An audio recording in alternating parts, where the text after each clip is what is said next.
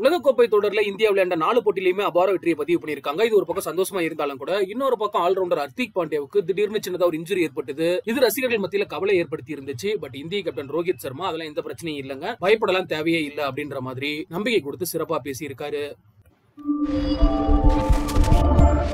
இந்திய அணி தங்களோட நான்காவது லீக் போட்டியில பங்களாதேஷ்க்கு எதிராக விளையாண்டாங்க. இந்த போட்டியில ஏழு விக்கெட் தேசத்துல அபார வெற்றியை பதிவு பண்ணியிருக்காங்க.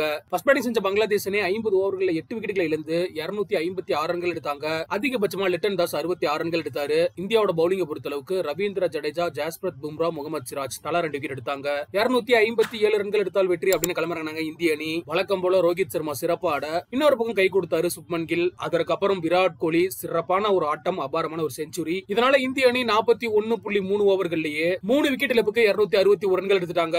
அபாரமா விளையாண்ட விராட் கோலி தொண்ணூத்தி ஏழே பந்துகள்ல நூத்தி மூணு ரன்கள் எடுத்தாரு. கில் அவரோட பங்குக்கு ஐம்பத்தி மூணு ரன்கள் எடுத்தாரு. இதன் மூலமா ரெண்டாயிரத்தி இருபத்தி மூணு உலகக்கோப்பை தொடர்ல இந்திய அணி விளையாடிய நான்கு போட்டியிலுமே வின் பண்ணிருக்காங்க இந்த பங்களாதேஷ்க்கு எதிரான வெற்றியை பத்தி தான் பேசியிருக்காரு இந்திய கேப்டன் ரோஹித் சர்மா. என்ன சொல்லியிருக்காரு அப்படின்னா இது கண்டிப்பாவே மிகப்பெரிய வெற்றி தான். இது மாதிரியான வெற்றிகளை தான் பெற நினைச்சோம். இன்னைய மேட்ச்ல நாங்க பவுல் பண்ண ஸ்டார்ட் பண்ணும்போது சரியான தொடக்கம் கிடைக்கல. ஆனாலும் கூட மிடில் ஓவர்ஸ்லயும் டெத் ஓவர்ஸ்லயும் பங்களாதேஷ் பேட்ஸ்மேன்களை எங்க பவுலர்ஸ் கட்டுப்பாட்டுக்குள்ளே வச்சிருந்தாங்க.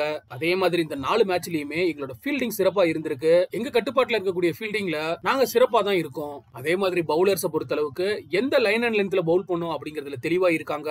பவுலிங்லயும் சரி ஃபீல்டிங்லயும் சரி ஜடேஜா சிறப்பான ஒரு வீரரா இருந்துகிட்டு இருக்காரு. ஒரு டீமா இந்த உலக கோப்பை தொடர்ல நாங்க சூப்பரா ஆடிக்கிட்டு இருக்கோம். ஃபீல்டிங்ல சிறப்பா இருக்கக்கூடிய பிளேயருக்கு பதக்கங்களை கொடுத்துக்கிட்டு இருக்கோம். இதனால பிளேயர்ஸ்மே உத்வேகம் அடைஞ்சிருக்காங்க. ஹர்திக் பாண்டியாவை நினைச்சு பெருசா கவலைப்பட ஒண்ணும் தேவையில்லை. இன்னும் ஒரு நாள் அவரோட உடல்நிலை எப்படி இருக்கு அப்படின்றது தெரிய வந்துடும் அதற்கேத்த மாதிரி திட்டமிடுவோம். இந்தியா டீம்ல இருக்கக்கூடிய எல்லா பிளேயர்ஸுமே பிரஷர்ல இருந்திருக்கும். ஆனா ரசிகர்கள் எங்க போனாலுமே எங்களுக்கு ஆதரவு கொடுக்குறாங்க. இது வரைக்கும் விளையாண்ட எந்த மைதானத்திலயுமே ரசிகர்களை நாங்க ஏமாத்தல. கண்டிப்பா அவங்களோட கரகோஷம் வரக்கூடிய நாட்கள் அதிகரிக்கும் அப்படின்ற நம்பிக்கை எனக்கு இருக்கு அப்படின்னு சொல்லி இந்திய கேப்டன் ரோஹித் சர்மா சிறப்பான விளக்கம் கொடுத்திருக்காரு.